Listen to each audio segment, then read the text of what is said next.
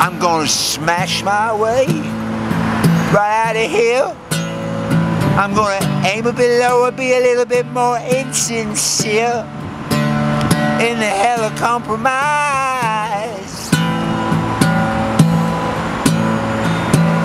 I am a con man faking this reality, inventing a character that makes no logical sense to me in the hell of compromise.